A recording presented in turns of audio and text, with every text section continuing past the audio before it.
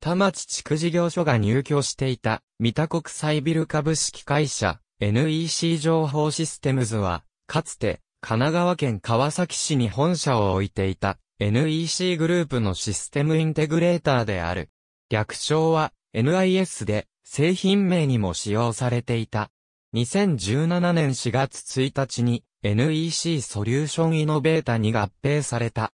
1994年、NEC の全額出資子会社であった日本、電気技術情報システム開発株式会社と、日本電気経営情報システム開発株式会社が合併し、発足した企業である。システムインテグレーターの分類では、メーカー系に分類され、2008年の日経 BP 社、日本のソリューションプロバイダの売上高規模調査では182社中69位である。合併以後、NEC 及び NEC グループから業務受け入れを行い、売上及び人員の拡大を行ってきた。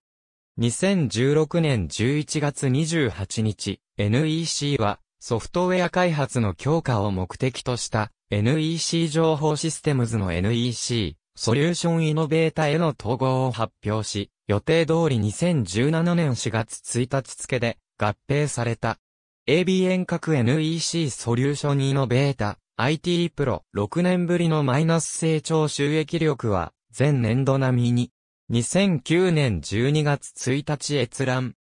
NEC 社会ソリューション事業を支えるソフトウェア開発体制を強化ソフトウェアし、会社2社を統合、NEC プレスリリース、NEC が SIC、会社2社を統合、AI や IoT へ要因を集結。日経 IT プロ、http コロンスラッシュスラッシュ itpro.nikkeibp.co.jp スラッシュ atcl スラッシュニューススラッシュ16スラッシュ112803523スラッシュ RT イコールなハント2017年4月9日閲覧ありがとうございます。